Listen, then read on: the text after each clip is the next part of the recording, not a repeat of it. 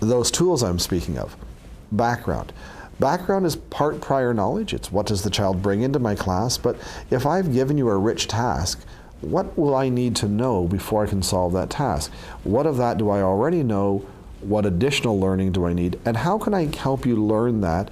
So there's a couple of pieces there. Right away, I have to differentiate the learning. If a child comes in with a lot of background, how do I make sure I don't make them go back through a lot of that content again? They come in with less background. How do I shore that up? You come in as an ESL learner. Will I use more visuals? How will I differentiate that learning so all children can access the content? And one of the things we need to be thoughtful of is I want to engage all my children in building that background but I have to think about how they learn that background. How will I support them in doing that? How do I do that in a way that's not merely transmission? This is one of the interesting challenges. How do I not simply say, here's the content you need? So, for example, can I present them yes and no examples so that they have to build the definition instead of me saying, here's the definition for nationalism?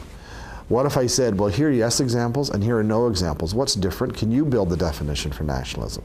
So, note there are ways I can tweak how I deliver content to students that engages them in being actively involved in constructing their background knowledge. So that's one of the distinctions we want to make is the construction of background knowledge with children as opposed to the transmission of background knowledge.